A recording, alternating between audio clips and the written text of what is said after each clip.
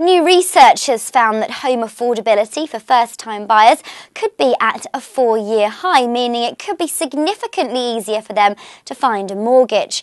FindAProperty.com has found that an improvement in the average income multiple offered by mortgage lenders, along with a slight drop in asking prices, has made homes more affordable compared to workers' average pay.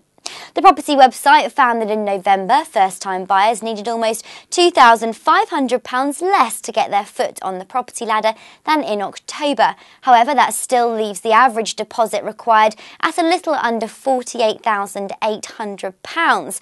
Samantha Baden is an analyst from the website Find a Property, and she believes that if first time buyers take advantage of the fact that it's easier to find a mortgage, it could have a positive ripple effect. She notes that it's also great news news for the housing market as a whole, as first time buyers are a vital foundation for the entire property chain.